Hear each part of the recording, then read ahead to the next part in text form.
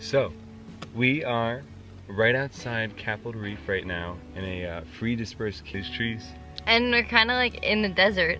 Very few trees. And he wouldn't let me in the car before. And then Why I- wouldn't he let you in the car? Because he you told me I of your need- OCD? told me I needed to calm down. Yeah. but I'm perfectly calm. Hola y bienvenidos a todos una vez más. Espero estén todos muy muy bien. Hoy vamos a estar viendo otro caso sin hacer muy larga la introducción. Comencemos.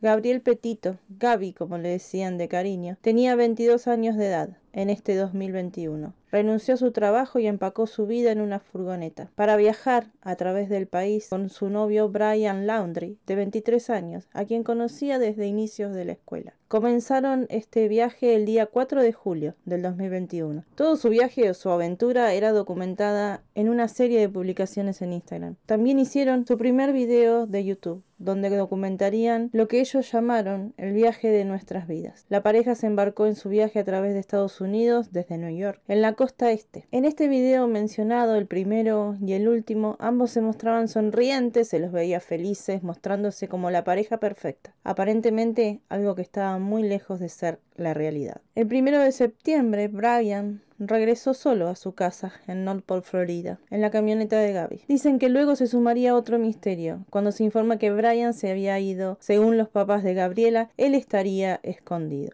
La familia de Gaby realiza la denuncia por la desaparición de ella el día 11 de septiembre. La camioneta la recuperaron en la casa de los padres de Brian, la misma noche en que se realizó la denuncia. Según contaron los padres de Gabriela, se comunicó con ellos por última vez a finales de agosto. Para ser más precisos, habló con la madre, Nicole, el día 25 de ese mes, cuando ambos se encontraban en la zona del Parque Nacional Grand Teton, en Wyoming. Luego recibió un mensaje entre el 27 y el 30 de agosto. Pero la madre duda muchísimo de que este mensaje haya sido enviado por su hija. Cree que en realidad lo envió su novio. Ahora que sabemos, dice, que la camioneta estaba en Florida el primero de septiembre, es imposible que este mensaje fuera de mi hija. Esto lo dijo cuando se enteró de que este hombre había regresado sin su hija. De inmediato las autoridades en Estados Unidos emprendieron una intensa búsqueda y el caso realmente conmocionó a todo el país. Es un caso que ha salido en muchísimos medios y que está haciendo noticia desde el momento en que se realizó la denuncia. El FBI en su momento abrió una línea telefónica para cualquier tipo de información sobre la desaparición. Mientras tanto, después de que la familia de Gaby informara de la desaparición de su hija, la policía interrogó a Brian, pero este no le dio ningún tipo de información. Este hombre se negó a colaborar con las autoridades, guardando directamente silencio total. Sí lo consideraban una persona de interés para la investigación,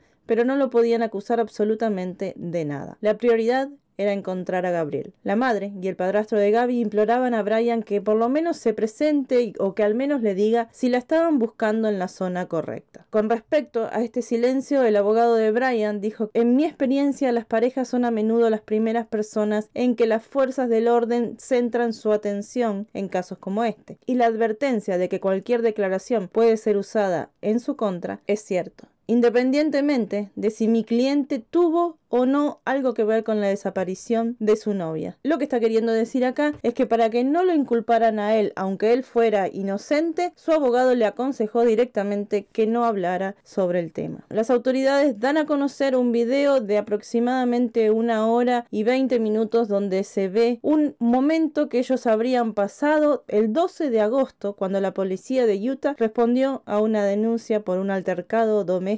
En este estaban implicados justamente Gaby y Brian. Un hombre denunció que vio una pareja discutir cuando salían de un almacén o de un supermercado y en estas imágenes de la bodycam del policía se podía ver a Gaby muy angustiada diciendo que había tenido una pelea con Brian. Se la puede ver en ese video llorando, diciendo que tiene problemas de ansiedad que afecta a su comportamiento. Reconoció haberlo abofeteado después de una discusión, pero que no quería hacerle daño. Simplemente es que él estaba toda la mañana diciéndole que no servía para hacer un blog, que era lo que ella estaba empezando como emprendimiento para poder contar todo sobre este viaje. Aparentemente él estaba como muy insistente sobre este tema y eso la hizo poner muy mal. Discutimos esta mañana algunas cuestiones personales. Antes no me dejaba entrar al coche, me dijo que tenía que calmarme. Luego de la discusión se los ve subir al auto y en un momento parece que pegan un volantazo, en ese momento son detenidos por las autoridades y es ahí donde se graba todo el procedimiento de lo que fue en realidad una mediación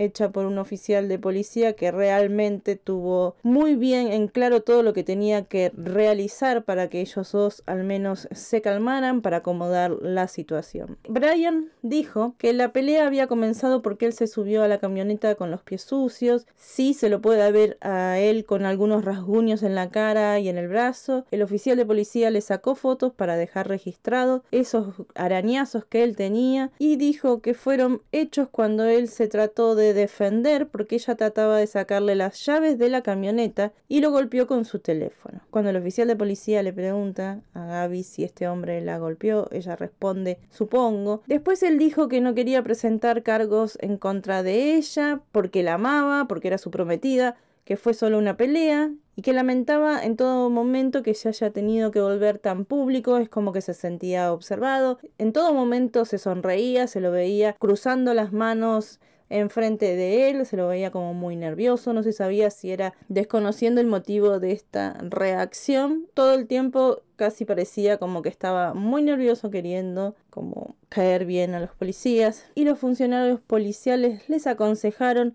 mejor dicho, prácticamente les indicaron que para no complicar más las cosas no se mensajearan durante todo lo que quedaba del día, que no podían hablar ni juntarse y a él lo enviaron a dormir a un motel, una habitación que le consiguieron porque él quedó como la víctima del hecho y ella como la agresora, ella se quedaría durmiendo en la camioneta. Se dijo que ella también tendría que asistir a la corte igualmente, pero sería por un delito menor. Esto les recuerdo ocurrió el 12 de agosto, prácticamente un mes antes de que se realizara la denuncia pero la desaparición o el último contacto que se tuvo con Gaby fue el día 25 de agosto. Y entre el 27 y el 28 es cuando la madre recibe esos mensajes que ella dijo que no eran de su hija. Además, no dan los tiempos que ella mandara unos mensajes, cuando en realidad la camioneta o la van ya estaba en Florida. El 17 de septiembre, Brian emite un comunicado a través de su abogado. Le pide a la policía investigar un posible vínculo entre la desaparición de su novia y un doble homicidio que ocurrió entre el 13 y el 18 de agosto en la ciudad de Moab, en Utah, donde ellos tuvieron esa discusión. El hecho al que él se refiere es el de una pareja de recién casados, Crystal y Kylen, que fueron encontrados sin vida con disparos en un descampado al suroeste de Utah. Esto ocurrió el 18 de agosto, tan solo seis días después de que ellos tuvieron esa discusión que fue grabada por las cámaras de la policía. Esta pareja a la que encontraron habría hecho comentarios sobre una persona que les parecía muy siniestra, que estaban en un campamento, que a ellos los incomodaba muchísimo. La policía dijo estar investigando obviamente cualquier conexión, pero se sabe que Gaby tuvo el último contacto repito, el 25 de agosto, en Wyoming, a cientos de kilómetros del lugar donde ocurrió ese hecho con el matrimonio, el mismo lugar donde ellos tuvieron la discusión. Así que podía estar prácticamente descartado. Pero lamentablemente el 19 de septiembre, tan solo hace unas horas atrás,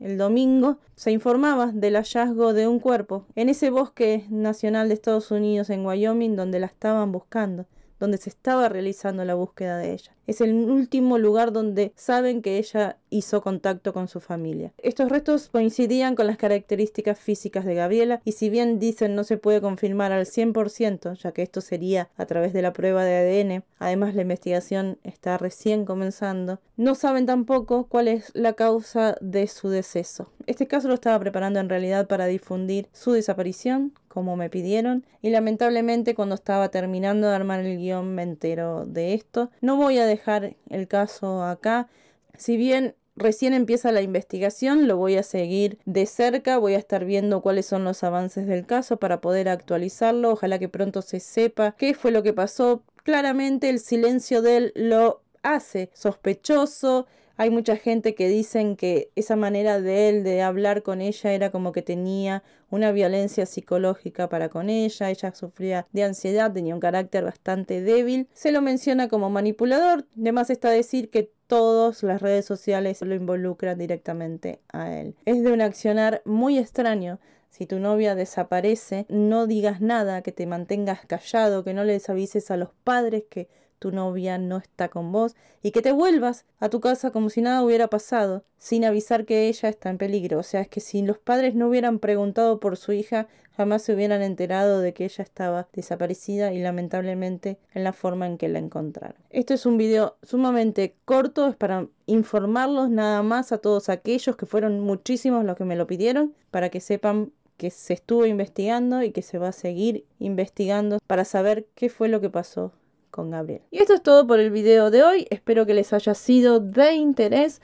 Recuerden que pueden encontrar la lista de reproducción de mis colegas. Yo desde acá les agradezco muchísimo su apoyo, su colaboración. Muchísimas gracias a los miembros del canal. Nosotros nos vemos muy pronto en un siguiente video. Cuídense. Chao.